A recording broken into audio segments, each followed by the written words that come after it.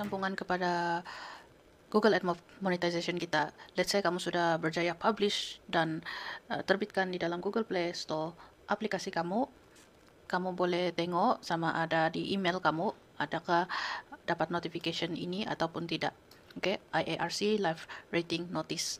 So, kalau kamu sudah dapat ini notification, maksudnya aplikasi kamu sudah berjaya live di Google Play Store lah. Google sudah approve review kamu dan aplikasi kamu boleh di-download di seluruh dunia sudah. Jadi, benda pertama yang kamu perlu cari adalah cari aplikasi kamu yang ada di Google Play Store. Okay. Let's say kamu sudah jumpa, kamu copy aplikasi tersebut oke okay? kita copy dia and then masuk ke Google AdMob pergi ke apps kamu oke okay? yang apps nih dan cari aplikasi kamu yang kamu baru setting oke okay? which is inilah Chinese New Year nih di Google AdMob and then di sini kalau kamu boleh nampak ini dia bilang requires review sebab kita belum lagi connect aplikasi kita link kan ke Google AdMob jadi untuk uh, dia aktif sepenuhnya kamu perlu link di App Store eh, AdMob kita which is di bahagian app setting kita pergi app setting and then approval status kita pergi set di bahagian add app store oke okay?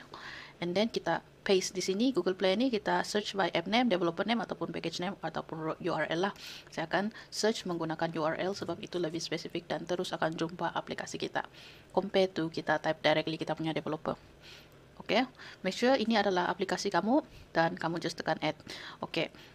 Kalau kamu rasa ini bukan aplikasi kamu ataupun kamu ragu-ragu tidak pasti, jangan tekan sebab ini tidak ada reverse. Ha? Kalau kamu silap di sini, kamu punya account mempunyai masalah lah. Tetapi kalau kamu betul-betul buat dalam step ini, dan semuanya berjalan dengan lancar. Just tekan add dan tekan continue saja. Oke, okay? package name. Oke, okay? tekan save. Dan tekan done. Make sure kamu ada buat ini. Oke, okay? so di sini dia punya status adalah getting ready. Nanti kalau dia sudah aktif, means dia akan activate di sinilah. Oke, okay? jadi itu sahaja untuk tutorial sesi ini.